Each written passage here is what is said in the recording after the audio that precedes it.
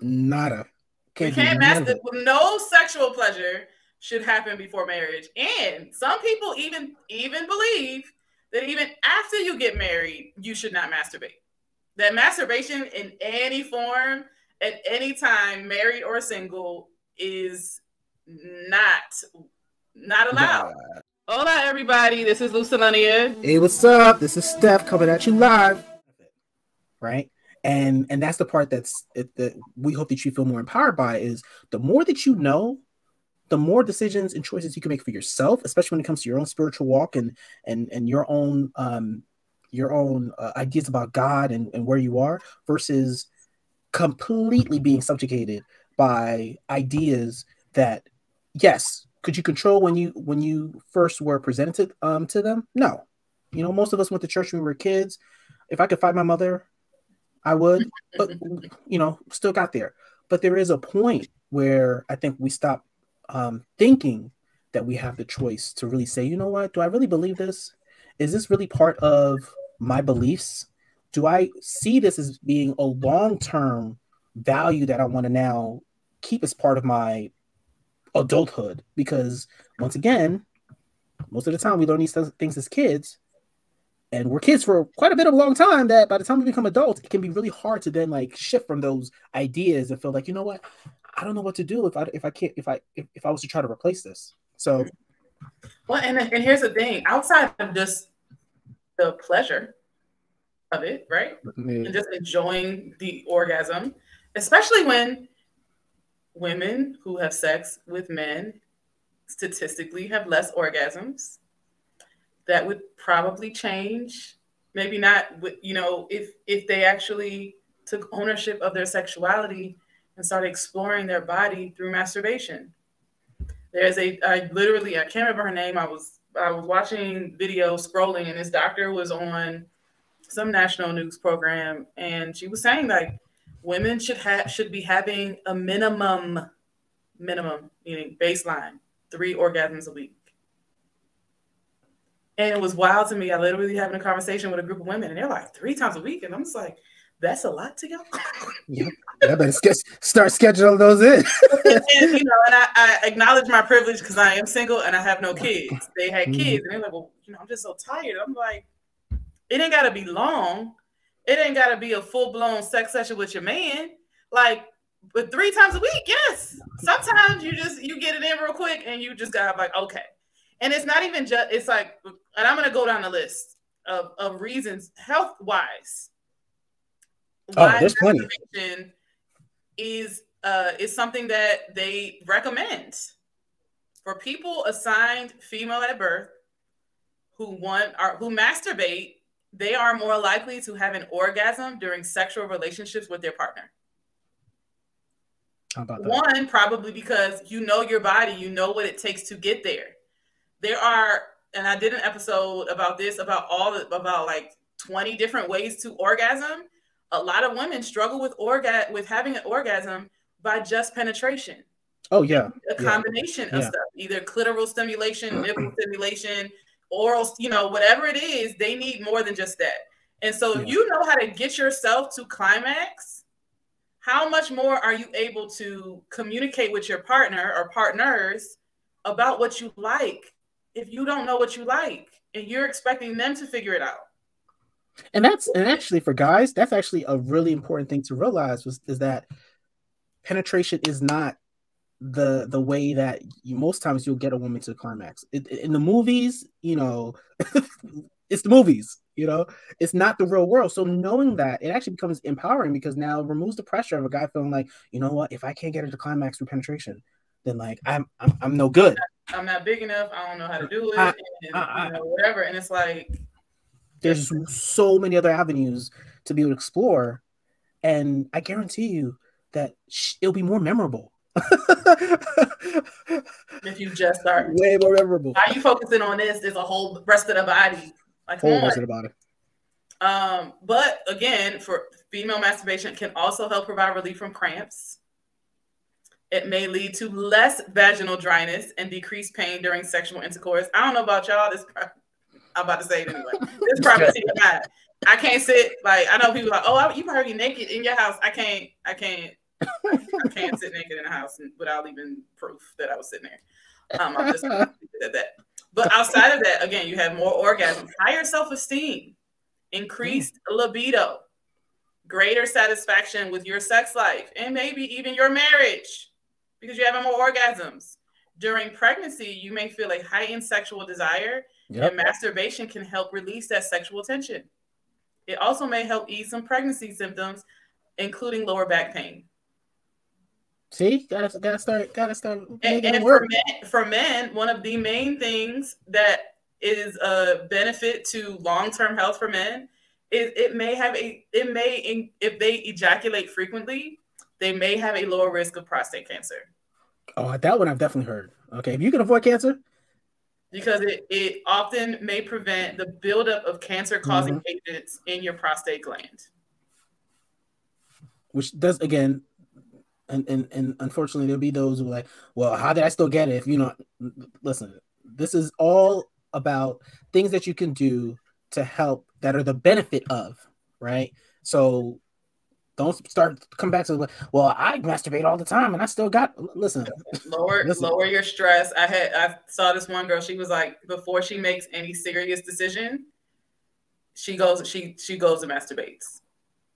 And it's just like because the clarity is like okay you can just bring yourself down with anxiety or whatever just kind of release that. And she's able to make a much more clear decision after she's masturbated and had an orgasm. I'm sorry. Well, you, got the, you, got, the oxytocin, you got the dopamine. I mean, you got you got some things happening there that help to provide that clarity too. That are again scientifically, you know, this is not stuff we're just making up here. Um, even though some of you will still say we are. Oh yeah. Well, I mean, and like you were saying earlier, you know, there people think and there have been perpetuated these myths about masturbation that research has not proven any of them to be true. Masturbation does not cause vision loss. It does not cause hairy palms. I've never heard no. that. No one ever like your hair, your palms are gonna get hairy. Um, that's, that's um, mental illness. It does not cause a man's penis to shrink or curve. Now, if it did cause curve, that might not be a bad thing. Um, nice curve. Uh, it does not decrease sperm counts. It does not cause erectile dysfunction. Nope. We just said it can increase sexual desire. So no, it does not lower the libido. It does not cause infertility. And whoever's saying that bullshit is insensitive as hell. And but they could have unwanted side effects. The main one that they say is guilt. But that side effect mm-hmm. of guilt is overwhelmingly coming from religion mm-hmm. or spiritual or cultural beliefs because there I know there are some cultures that also that outside of religion also don't believe in this. Or even just the fact of um, one of the myths is uh, people only masturbate when they're alone. Mm-hmm. Like, you know, and I think that's something to be mindful of is the fact that because people do this mm, majority of the time in, in privacy, right? It it adds this element in in the church context as oh you know this is something done in secret. This is something that um you're trying to hide. And it's like yeah i mean I, am not sure this is not good. Once again this is not something for public dis- display. Um i would like my freedom. Okay. I like my yeah exactly. Uh, but again we take sometimes or sometimes the the things that make it how can I say this? It's the things that are personal to us and the things that allow us to go within ourselves seem to always be the thing that is demonized. Mm-hmm. Oh, yeah, it's a it's a very intentional thing to get us to be disconnected from who from ourselves, our feelings, our desires, our mm-hmm. thoughts, our ideas. That is, you know, no, you're supposed to think what we tell you to think and live the way we supposed to, we tell you to live because you don't know. As opposed to teaching me and guiding me, which is not the same. I know they believe that that's what they're doing, but teaching and guiding involves empowerment. This type of guilt and shame that you are giving people about their bodies and touching their bodies is not empowering at all. Mm-hmm. It's as if y'all really, it's like y'all say it as if masturbation is something new. When again, historians will tell you that there's proof of mass that they've been masturbating for centuries older oh, than oh. the Bible. Oh yeah, I mean that they they're even like some uh they've dug up some some graves, you know, which I don't I don't believe in. But you know, I guess we don't get this information unless they do that. We're like we're like digging up some Egyptians, like they were buried with things that look like a dildo, look like a crystal wand, and they said, and of course, people, that's not what I'm like, but there are a lot of things that look like masturbatory tools. Mm-hmm. This, is, this is not a 1900 because they wanted them to be able to pleasure themselves in the afterlife. Listen, bury me with my ass, baby, okay? If I can't take my nigga with me, then at least let me take my grave. like, because at this point, I feel like like okay, and I, I, say this all the time, and I'll probably be 99 years old and saying this to these women. We are the only beings on this earth, humans on this earth, that were that was given an organ that only has one function, which is pleasure, and that is our clitoris. I will say it until I'm old and frail. And you can't tell me that God did not create us for pleasure if God also created us with an organ that has no other function. If, he, if, God did not care, then why would we be created with that with the clitoris? And make it so that if you do not stimulate your clitoris, you are at risk of losing it. It can collapse within itself. And I would cry because me and my clit are we buddies. She make, me feel good. I know how to like I would cry. Like if you've never stimulated your clitoris, you don't know what you're missing. And I encourage you today, if it's been a while, today. come on, come on. Let me do the let me do the If you have not touched your clitoris or it has not been touched by someone else, I beg of you, uh, do not lose it. Okay, don't lose it. I don't know how long it takes. I don't know. I'm not trying to find out, but I encourage you do not miss the blessing in your clitoris. God, you would be you you want to know what's a sin? To misuse and abuse what God created. That would be a sin. God created that for your pleasure, and you're not using it because some pastor told you, some first lady told you that touching that means you're a Jezebel or you're a whore. Mm-hmm. Mm, them, f them, because again, there's like doctors, researchers have not found there is no other purpose. I, I think it would be interesting if people were honest about how they came into being. Let, us I mean, let, let, how did how you know? Let, we we would like to all believe that there was a stork that, dropped us I in the that. They, I think they knew that. They knew better than tell me that as a kid. Like, oh, you really want me to believe just like y'all really want. I never believed in Santa for that reason. Like we ain't got no damn no no damn fireplace. I don't get no gifts, so and I was good. I, I didn't get in trouble, so how, I didn't get kissed. Santa did, Santa don't exist. I ain't, no, there's though. It was always like, in those. It was always in those cartoons. But why do we want to propagate an idea that goes against the idea that in reality we were probably conceived in ways we probably would never really want to know. Okay, like the, the process involved. okay, in one way or another, because it would probably it would be horrific to me to find out that my mother had sex oh. and she and did enjoy it. That would be horrific. I don't want the gruesome the group the the no, the details. No. If it was I was hanging off a chandelier either, because you know it's my mother. But like I I fear that a lot of a lot of mothers have had children during sexual experiences that they didn't enjoy because mm-hmm. they were literally being told it wasn't for their enjoyment and that it, that is so misogynistic and sexist and and whatever word you want to put in there i'm sure there are more that i could use because most men are going to orgasm during a sexual during almost every sexual experience unless they choose not to of course health issues whatever i was like mm-hmm. but statistically men are ejaculating. I mean, it's, it's, a, it's, the, it's, the, running joke. It's the running joke, right? I mean, how many times do you hear is like, we have had songs, and you ain't getting nothing except a baby, and that baby is literally rearranging your insides and affecting, and you got to carry this leech for 10 months.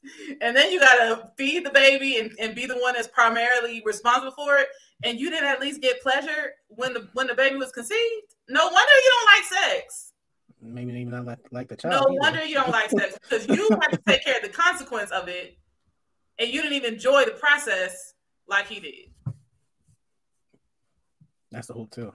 And, and, and I'm like, I remember watching a video, and I, I almost even reposted. I'm like, I don't even want to share this because I don't want other people listen to this and thinking it's real.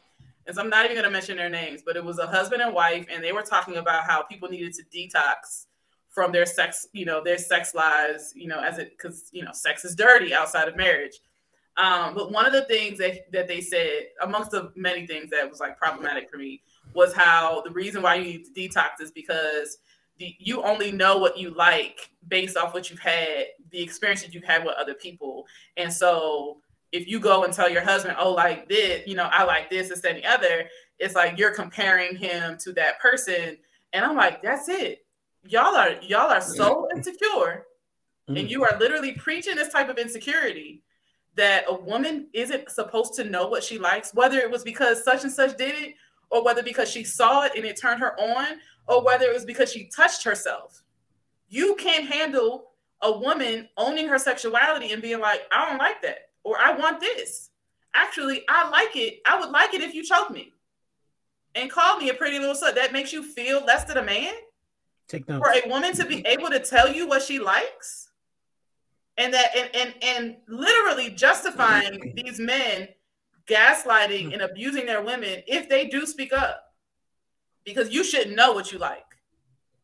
You should only have had that experience with your husband. And so essentially, I get to tell you what you like because I am your only experience. And that is such a fucking problem. Because let's say that woman has stayed a virgin. She doesn't get to say, she still, like, you still get to accuse her of, mm-hmm. of, of violating the the sanctity of marriage if she says, "Hey, you know, let's try this," and you're like, "Where you get that from? How you know about that?" what does it matter? Maybe I don't like it. Maybe I do. Okay, I didn't realize I had a praise kink until I started scrolling TikTok and it was like a girl, and I was like, "Oh, that is something to me." Oh, I like being called good girl.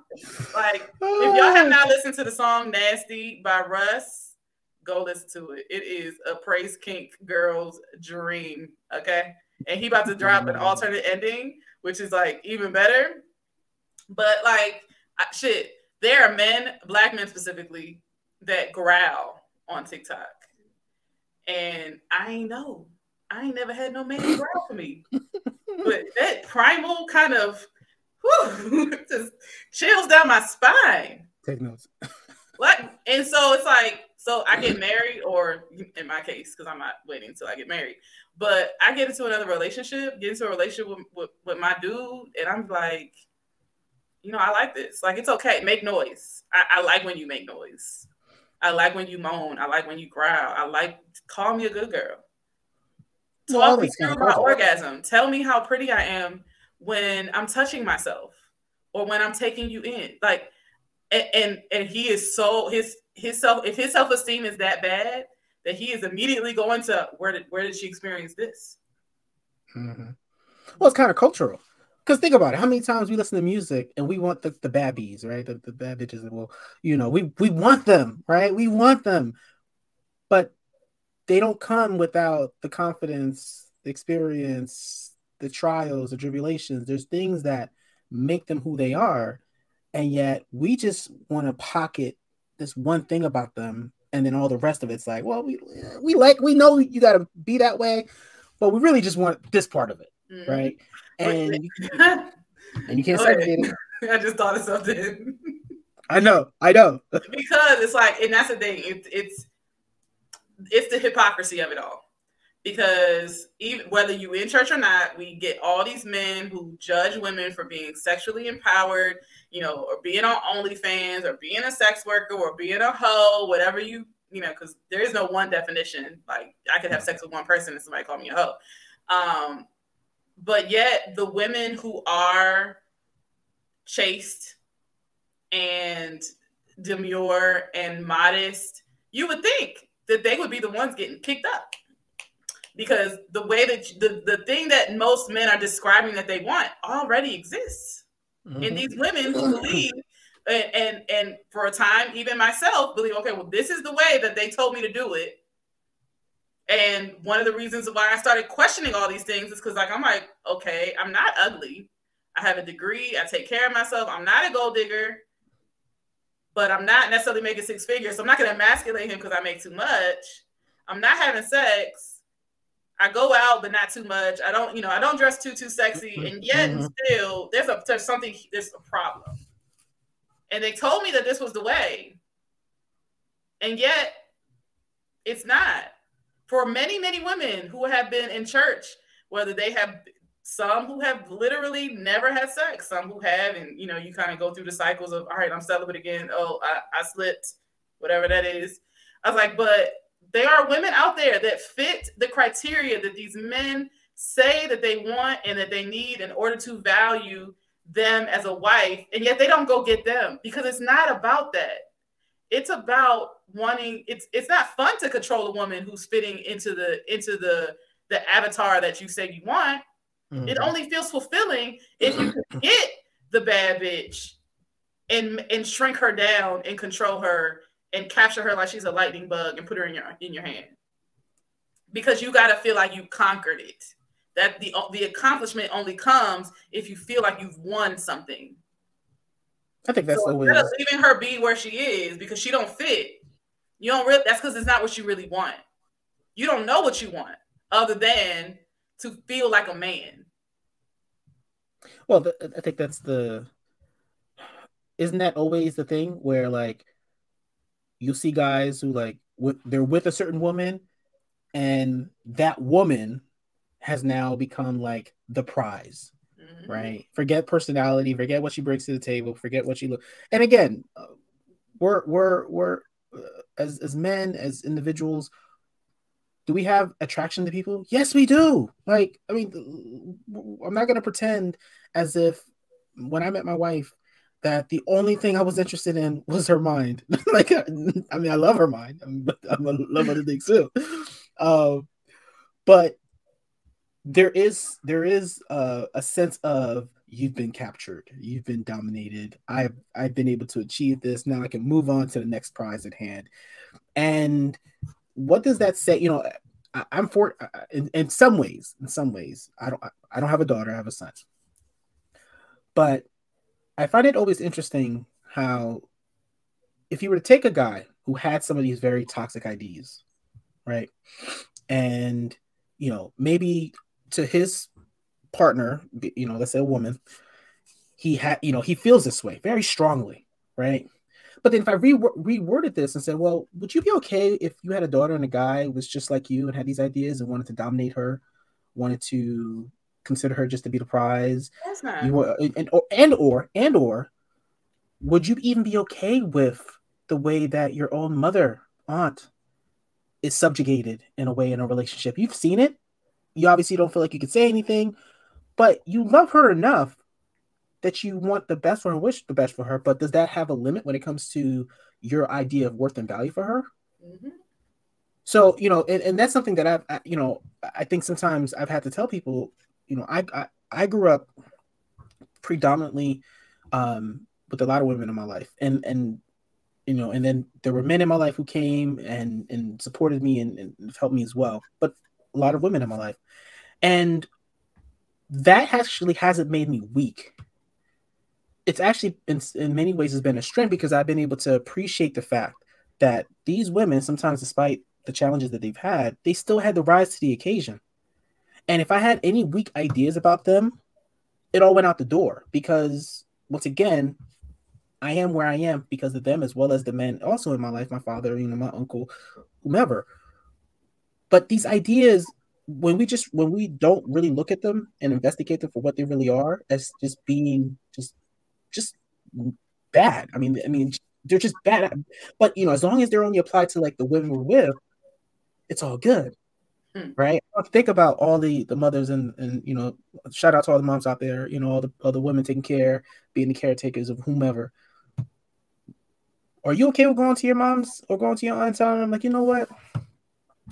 I really think that uh, you don't have the framework or the, the knowledge or the experience or the fortitude to think for yourself. Uh, you know, for that raise that you want to get at work, stop trying. Mm-hmm. You know, you don't work hard enough like these guys. These guys work, um, and that always like, and, and that's sometimes what has, you know, I can't. say I'm I'm not perfect, but it's kind of kept me in check a little bit when it comes to challenging my own ideas about masculinity, my own ideas about patriarchy, my own ideas about femininity, because I'm reminded the people and the impact those those ideas can have on those relationships. So something to think about. If you got a daughter out there, you got some women in your life that you truly care about, love and love dearly. How do those ideas hold up to them? Mm-hmm. Leave you there. that is a perfect way to wrap up this episode. Wrap it up. Um, masturbation. Um, you know, just question, yeah. question anything and anyone that is is telling you anything that is taking you away from yourself, mm-hmm. as opposed to empowering you, empowering those you love. Anyone or anything that is denying your humanity or the humanity of, the, of those you love and those you cherish. And enjoy. Yeah. Yes, enjoy. Like you said. Find the way. Whatever way you feel you need to. Mm-hmm. So I we're gonna end this episode um, in a way that I haven't done in a while. I'm gonna start bringing back at least for the next four. We'll see about next season um, with a mindful moment. So hold on tight, I, and we're going to end with a mindful moment, and then um, yeah, make sure you're in a safe place, not driving, operating heavy machinery. Um, but if this is where you end, be as radiant as the sun, and we mm-hmm. will see you next week. Bye. Yep, yep. See you later. Have fun. Thank you for joining me for this sensual, mindful meditation. To start, I want you to find a comfortable place where you can sit or lie down without any distractions. Once you've gotten comfortable in whatever position you've chosen, let's begin by taking some deep breaths allowing yourself to relax and to let go of any tension in your body.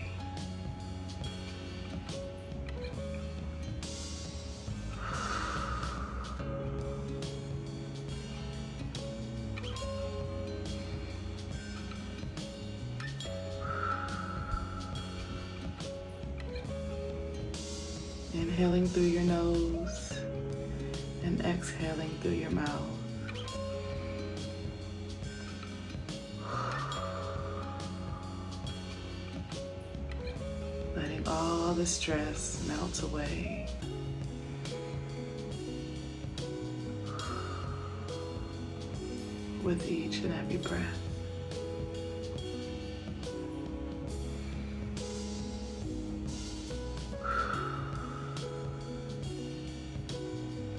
Now bring attention to your breath, breathing slowly and deeply.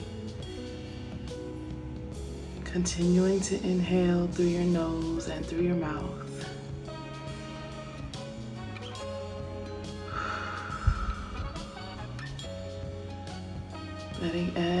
Every single distraction that might come up Just wash away with every exhale.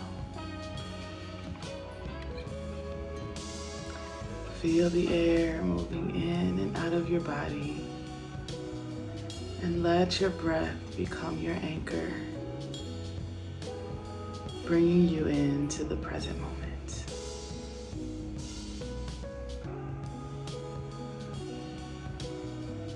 As you continue to breathe now bring awareness back into your body. Noticing any sensations that arise without judgment or analysis.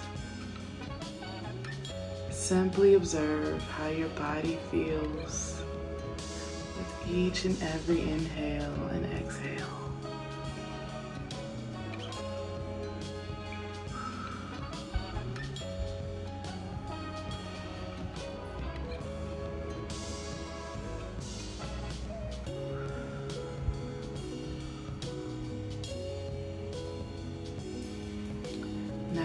You to bring attention to the soles of your feet, to your toes, and to your ankles. You might squeeze your toes and then release. Roll your ankles around in circles. Send all your energy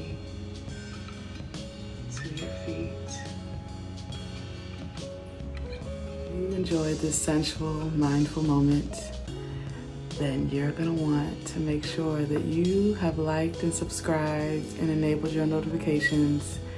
So when I upload the rest of this video later on this evening, you can be notified and you can finish your self-love, self-pleasure